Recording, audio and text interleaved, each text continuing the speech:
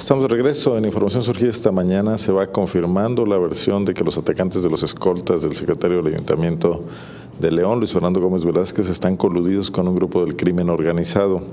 El procurador de justicia de Guanajuato, Carlos Amarripa Aguirre, declaró esta mañana en la capital del estado que los hombres dos que resultaron muertos y la mujer detenida en la balacera del martes tenían antecedentes y están vinculados con grupos delincuenciales.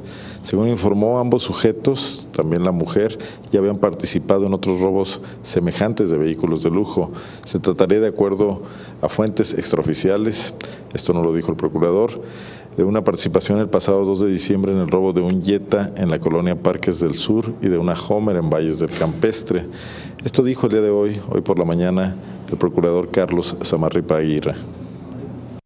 Sabemos ya que estas personas, incluyendo la persona detenida y los fallecidos, eh, participaron en otros robos semejantes de vehículos de lujo. Sí, eh, nosotros tenemos por confirmar ahora en las próximas horas también eh, otros eventos de asalto y precisamente si a qué grupo de crimen organizado pertenece, ya que parecen tener vínculos con alguno de ellos. No me pregunten más porque es precisamente lo que estamos ahorita eh, trabajando. Yo espero que eh, mediodía en la tarde podamos nosotros ya tener eh, un avance más significativo que podamos, que podamos informar a ustedes.